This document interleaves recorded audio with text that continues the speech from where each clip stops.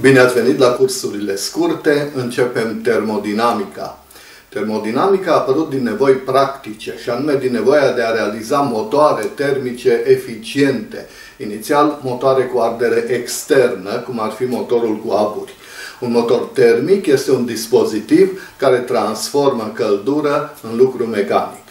Termodinamica studiază fenomenele termice la scară macroscopică, adică fenomenele în care căldura, temperatura și entropia joacă un rol foarte important, de aceea are nevoie, pe lângă mărimile fundamentale din mecanică, lungimea, timpul și masa, de o mărime fizică numită temperatură, despre care vom discuta în cursurile următoare.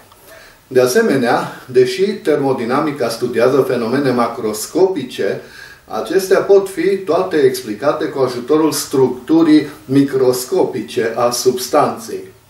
De fapt, orice fenomen macroscopic are o interpretare statistică aplicată particulelor care participă la acel fenomen. De aceea, în termodinamică mai folosim o mărime fizică fundamentală numită cantitate de substanță care are ca unitate de măsură molul.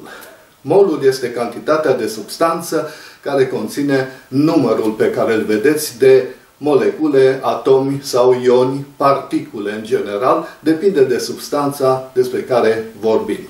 Deci molul este o mărime fizică adimensională, fiind un număr.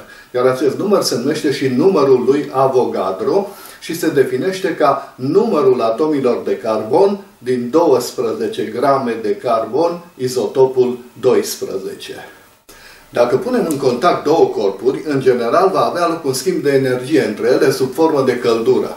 Căldura este o noțiune interesantă despre care vom vorbi în cursurile viitoare. Deocamdată voi spune doar că dacă două corpuri schimbă energie între ele fără a se efectua lucru mecanic, atunci energia a fost schimbată sub formă de căldură. Căldura și temperatura, după cum veți vedea, sunt mărimi care au sens doar la scară macroscopică. Dacă punem în contact două corpuri și nu trece căldură de la unul la altul, spunem că cele două corpuri sunt în echilibru termic. Echilibrul termic este tranzitiv, adică corpul A, dacă e în echilibru cu corpul B, iar B este în echilibru cu corpul C, atunci corpul A este în echilibru termic și cu corpul C. Spunem despre corpurile în echilibru termic că au aceeași temperatură, iar temperatura definită astfel se numește temperatură empirică. Și după cum veți vedea, temperatura empirică nu se poate defini în modul absolut, ci se definește pe baza a două stări de referință alese convențional, cărora li se atribuie două valori arbitrare. Dacă nu avem echilibru termic, căldura trece întotdeauna de la sine, de la corpul cu temperatura mai mare la corpul cu temperatura mai mică. Atenție, de la sine. Asta nu înseamnă că nu o putem obliga să treacă de la rece la cald folosind o pompă de căldură. Așa cum putem face apa să curgă în sus dacă avem o pompă de apă. Dar pentru asta avem nevoie de energie. Asta face, de pildă, frigiderul.